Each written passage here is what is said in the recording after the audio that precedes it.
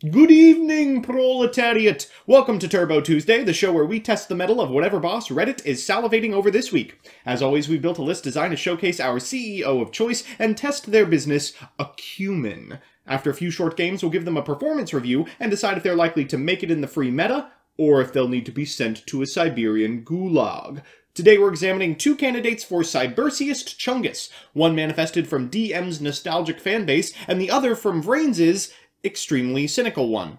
Behold, Link God Dragon and the Arrival Cyberse at Ignister. Before we check out today's corporate stooges, however, a word about our sponsor. This video is sponsored by Yu-Gi-Oh! Pro Deck, the best online site for database searching, deck building, and strategy articles, all conveniently located at ygoprodeck.com. The first of these two keyboard warriors is Link God Dragon. While your brother got into a bit of trouble over a censorship scandal, maybe you'll fare better. Let's see. Must be Link summoned. If this card is Link summoned using Dark, Earth, Water, Fire, and Wind monsters as material, you can destroy all cards your opponent controls. Unaffected by other cards' effects, also cannot be destroyed by battle with a Dark, Earth, Water, Fire, or Wind monster. Once per turn during your opponent's end phase, banish 5 cards from your graveyard face down. If you cannot, send this card to the graveyard. The second is a strong arrival. The arrival cyberse at Ignister. Apologies for the bad joke, let's hope the effect is better. You can only control one, the Arrival Cyberse at Ignister. This card's original attack becomes the number of materials used for its Link summon times a thousand, unaffected by other cards' effects. Once per turn, you can target one other monster on the field, destroy it, and if you do, special summon one at Ignister token, Cyberse, Dark Level 100, to your zone this card points to. Both of these monoliths depend on multiple monsters with different attributes, so we're playing them in an Animatia core. They're two strong applicants, but we've only got one position. With that, let's send our leaders to the Percy ladder. First up is Link God Dragon and Ritual Beast. Come on, you can do better than a third tier Duel Links deck. Ah well, their opponent is going first, they'll lead with a copy of Ice Bell, special summoning a copy of Glass Bell from deck with an additional copy in hand. Always seems to work that way, doesn't it? They'll get a copy of Snowbell and then activate Snowbell's effect, Wait, Wind Pegasus at Ignister? That's the Arrivals monster. Keep that out of your deck. We'll lead with a copy of Animatia Analyzer and find off the top. Okay, the blue one's good enough. We'll go ahead and special summon a copy of Dragite and draw a card for our trouble. Afterwards, we'll special summon a copy of Seeker and use its effect, finding, oh, a Leonite looks good on our board as well. Now, we still need to prompt that Crystal Wing negate, so we'll go for Needle Fiber and activate the effect, which of course prompts it, and that should be it. We'll special summon a copy of Researcher, normal summon a copy of Raptite, and special summon a copy of Gorgonic Gargoyle before going into Link God! Destroy their board! And remind me that there is actually effect text on Snowbell. After destroying their Crystal Wing Synchro Dragon, they'll shuffle back our Block Dragon with Wind Pegasus and Ignister. Have I been led astray?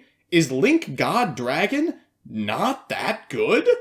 Well, they're going through Cannahawk combos now. Good thing this card's at 1, so we don't have to see this every game. They'll go for a Rampengu, and then go into an Ulti Kumino Falcos, summoning a copy of Lara and special summoning a copy of Winda for a second Cannahawk. Why does it even matter if it's at 1 if it can just do this anyway? Konami, please, back to 3. I'm begging you. Afterwards, they're going to go ahead and activate the effect of Cannahawk and summon a Borrelsword Dragon, which, while it can attack over Link God Dragon, cannot destroy it by battle, as it is not light type. We'll banish the remainder of our graveyard, and yeah, we need to get about five cards in there pretty quickly. We'll use Doki Doki and go for a Union Carrier. Now, if they pop both the Gorgonic and the Union Carrier, I guess we will have enough to survive until next turn. We'll attack into this copy of Borrelsword Dragon, which, hilariously, cannot be destroyed by battle. We're getting stonewalled by this monster. Our opponent is going to go for a Steeds, which fails to destroy the Link God Dragon, but leaves us with only four cards in our graveyard. Things are looking quite bad. Afterwards, they're going to go ahead and set one card, passing back and letting our Link God go to the graveyard. We'll normal summon a Researcher, they'll Steeds, and we'll concede. A sub DL10 KC Cup finish for Link God Dragon, for sure. Let's see if the Arrival Cyberse fares any better.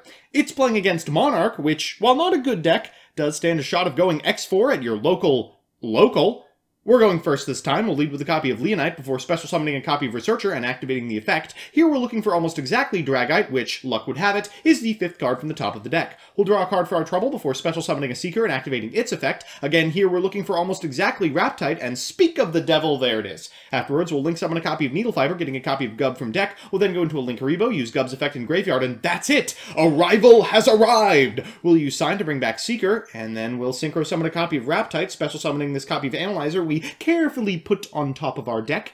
After that, we're going to activate Analyzer's effect, and any singular Animatia gets us into Animatia Rise Dragite. Unfortunately, we whiff. Let's upstart Goblin. Oh yeah, there it is. Before going into a Union Carrier, and I guess we'll equip a Gorgonic. We'll pass it back to our opponent. They'll activate Reinforcement of the Army, normal summon a copy of Adia, will Ash Blossom, and they'll concede. Well, we're back. And just how did the Petit Bourgeois perform? Let's consult our super scientific metrics above. First, let's take a gander at God. I'm awarding this literal manifestation of Christian theology a 1 in terms of consistency. Five disparate monster types is no easy task. I just thank the Lord for all of these minors I can exploit. Uh, don't read into that. I'm awarding this powerful prophet a 1 in terms of investment. You're never going to accidentally make this monstrosity. Finally, I'm awarding the Godular Gungus a 1 in terms of payoff. It doesn't even resist removal, it actively destroys itself. It's got a huge cost for a single-use board wipe that basically everything in the format resists. Next, let's assess the arrival. I'm awarding Eyes Cybersona a 2 in terms of consistency. Six materials with three different types is a far cry from Link God's setup, and even a 3k arrival can wreak havoc against Rogue. I'm awarding this Cybersian Superstar a 1 in terms of investment. Yeah, you could make it in something like at Ignister, but you certainly wouldn't. Finally, I'm awarding this 6-mat monstrosity a 2 in terms of payoff. This card isn't perfect, but I'll take it. It's got between 3 and 6,000 attack, and it's unaffected by other card effects. What more do you want? The pop is icing, but I could unironically see very specific lists splashing this Cyberse Chungus. With that said, my final verdict is congratulations to the arrival at Ignister. Cameraman, reformat the hard drive.